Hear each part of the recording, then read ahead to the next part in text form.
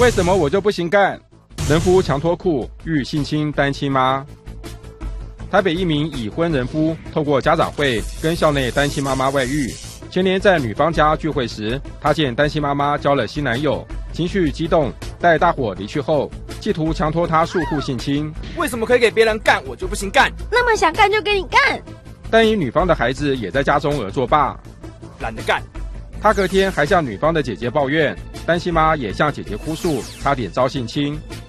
法院审理时，男子辩称当时只是发生争执拉扯，绝无性侵意图。但法官采信女方姐姐的证词。高院昨天维持一审判决，依强制性交未遂，将男子判刑一年十月，仍可上诉。动新闻台北报道。